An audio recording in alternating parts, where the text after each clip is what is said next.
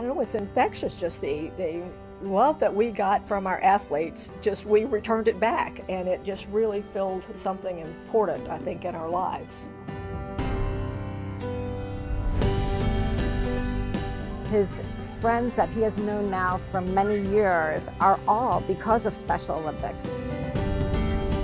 When you really get into it, you really see like how genuine everybody is and how involved all the people are to like really make this a great experience for the athletes.